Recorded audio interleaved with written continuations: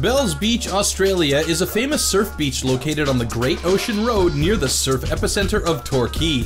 When it comes to the ASP Rip Curl Pro contest, something about Bells really brings out the serious side in the competitors. Maybe it's the historical aura of the place, the fact that it's the oldest contest in the history of surfing, or because Torquay is the birthplace of companies like Rip Curl and Quiksilver. Anyway, it's different. It already had the prestige of being probably the number one surf contest, uh, definitely in Australia, if not the world. And then I think it's the, the place itself, you know, it's it's not built up. It's like, you know, the, the Bells Cliffs look exactly the same now as they did probably, you know, 50,000 years ago.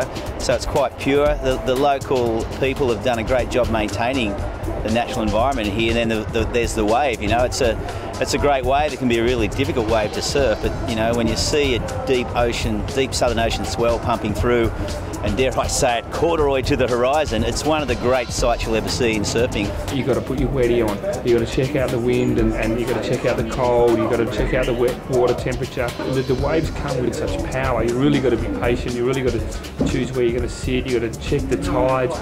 Obviously, snapper you can just rock up and surf it. Pretty much anyone can surf it, you know. But whereas here, it's a lot more tricky. It's got a few different boils that you have to sit off and you really got to know the wave and you've really got to surf the wave for what it is. You can't just attack it. You just got to flow with it. Bells Beach usually favors regular foot riders, and when the surf is good, it needs power, knowledge, and timing to tame it. The last goofy footer to win the Rip Curl Pro was Aussie legend Mark Occhilupo in 1998, so it's been a long time between drinks.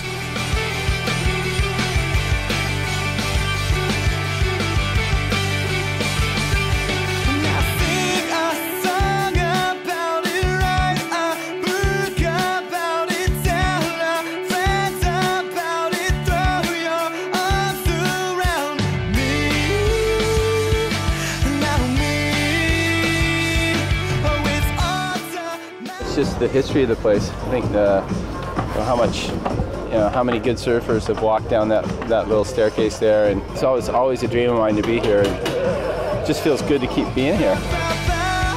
The Rip Curl Pro Bells Beach is unveiling a new format this season, pitting the ASP Top 45 in man on man elimination heats from the beginning, throwing out everybody that loses in the second round, even if that means Kelly Slater stumbles against wildcard surfer Owen Wright. Takes you a while before you've seen all the tides and all the winds and all the, uh, you know, at, at different swell sizes. So, um, you know, you just don't turn up and rip and uh, go home famous. takes a while here.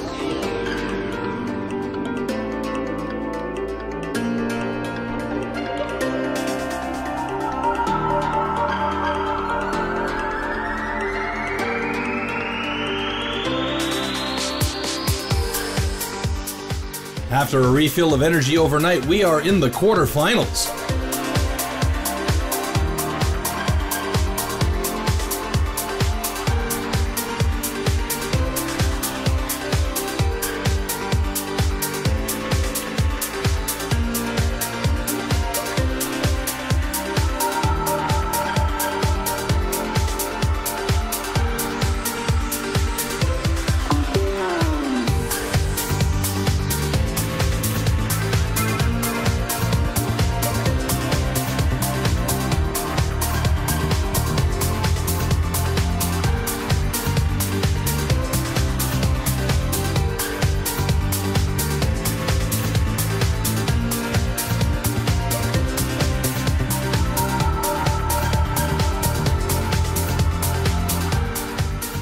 In the semifinals, Adam Robertson and Joel Parkinson put down their rivals and are headed to the final.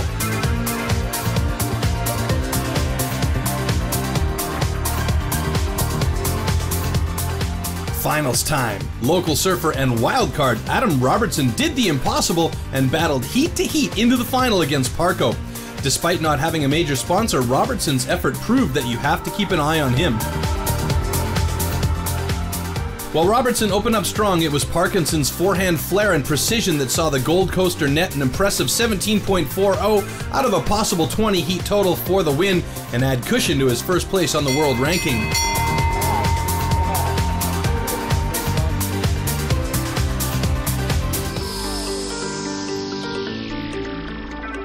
You know, winning at home is probably the most special win you can have, but this is the most special trophy you can have. You know, I think there's not another trophy in surfing that doesn't hold the prestige and the honour list that it has. Uh, you know, to be back on there again and, and to uh, hold it for a year is going to be amazing.